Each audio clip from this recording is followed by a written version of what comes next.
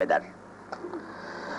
Mesela tarihimizde din alimlerine, İslam alimlerine öyle dinsizce sataşılmış, öyle dinsiz ve imansızca düşmanlık edilmiş, öldürme, idam etme kararları alınmış ki tarihte benzerine rastlayamıyoruz, hiçbir tarihte.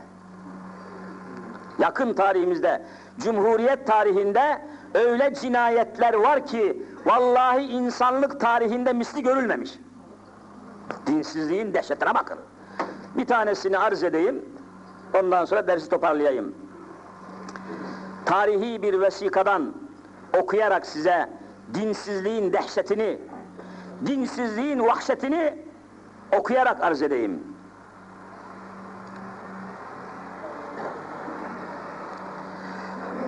Cumhuriyet tarihinde Kemahlı Şeyh Ebül Kemal İbrahim Hakkı Hazretleri namında bir İslam alimi var. Dört mezhebin alimi bir hayli kitap yazmış. Eyn medresesinde tahsilini ikmal etmiş. Eyn, bugün Kemaliye diyorlar. Eyn medresesinde tahsilini ikmal etmiş. icazet almış. Böylece ilimde ucu Rasul, Rasullerin seyyidine uzanan nurani bir silsilenin halkası olmuş. Suriye, Mısır ve Hicaz'da tedris yapmış, ders okutmuş Mısır'da. Alime bak, Suriye'de Araplara ders okutmuş.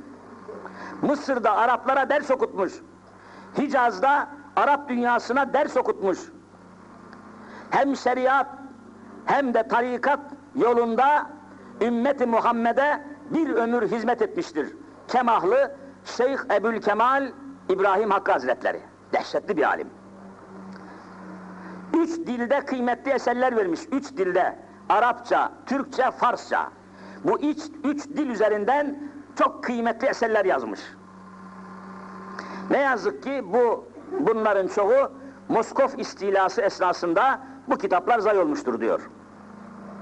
Sultan Abdülhamit Han bu alimi 1891'de Konya'dan İstanbul'a çağırmış.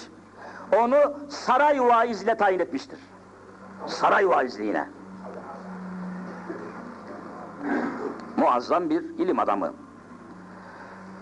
Kendileri keşif, keramet sahibi bir veli olduklarından İslami bir cihat hareketi olan milli mücadeleden sonra memlekette dinsizlik rüzgarları estirileceğini anlamış, daha 1921'den itibaren çevresini uyarmaya başlamıştı. Hani istiklal mücadelesi, milli mücadeleden sonra Allah'ın dinini değiştirmeye başlayınca bu zat eyvah demiş. İş tersine döndü, etrafını uyarmaya başlamış. Halifelik kaldırılıyor tabi, Kur'an harfleri kaldırılıyor vesaire. Derhal diyor bu esnada Ankara'nın emriyle zalim istiklal mahkemesine verilmiş. Bu büyük alim. Ankara'nın emriyle zalim istiklal mahkemesine verilmiş. Kendisi yakalanamadığı için gıyabında muhakeme edilerek hakkında idam kararı verilmişti. Şeyh Hazretleri gıyaben idama mahkum olduğu, olduğunu haber alınca hemen bir müdafaaname hazırlamış. Erzincan'daki mahkemeye müracaat etmeye niyetlenmişti. Bir müdafaa, savunma hazırlamış. Ancak hareketinden önceki gece rüyasında Resul-i Kibriya Hazreti Muhammed Mustafa Efendimiz'i görmüş. Efendimiz de ona ey İbrahim Hakkı sen bize kavuşmak istemiyor musun? Bak biz kollarımızı açmış seni bekliyoruz buyurmuşlardır. Vallahi böyle.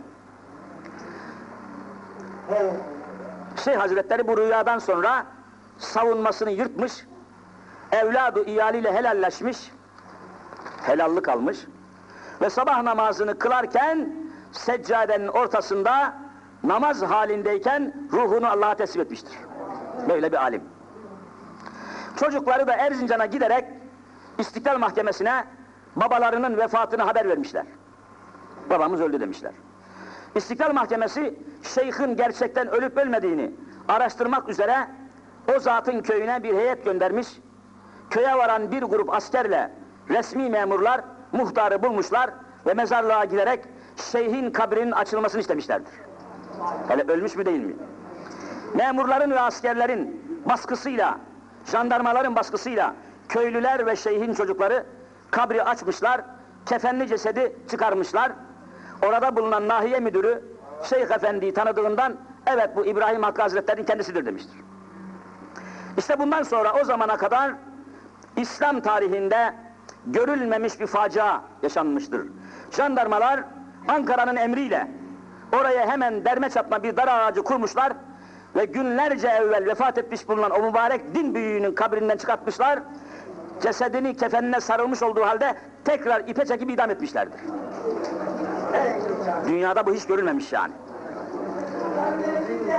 Yıllarca insanlık tarihinde böyle bir vahşete rastlanmıyor.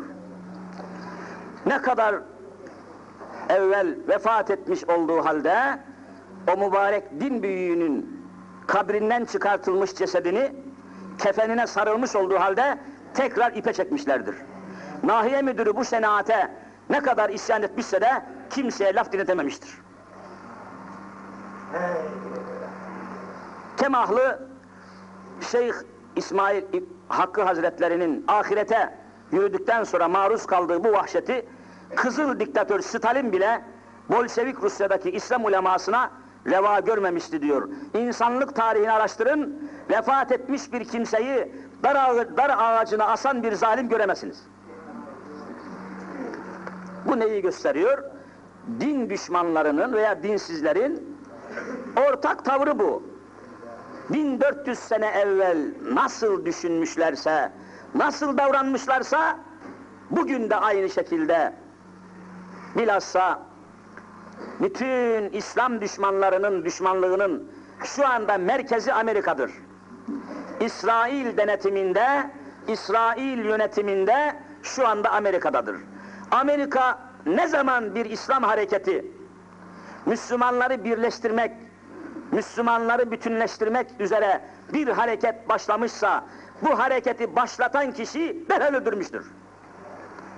Çeşitli hilelerle, yollarla, suikastlarla öldürme planlarını derhal ortaya koymuş ve halen de koymakta ki en son biliyorsunuz Ziyaul Hak namındaki Müslüman general, mücahit general alemi İslam'ı birleştirmek, alemi İslam'ı bütünleştirmek ve çağımızın bütün silahlarıyla Müslümanları donatmak üzere İslam birliği için gece gündüz çalışan bir adamken Amerika'nın vahşetiyle ve tedbiriyle uçakta havada parçalanmak suretiyle kendisiyle beraber 10 tane general 27 de albayı parçalayarak hepsini öldürmüştür.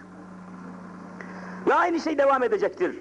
Kim İslam'ı anlatmaya, Müslümanları birleştirmeye, Müslümanları bütünleştirmeye çalışıyorsa ona bütün dünya karşı çıkacaktır.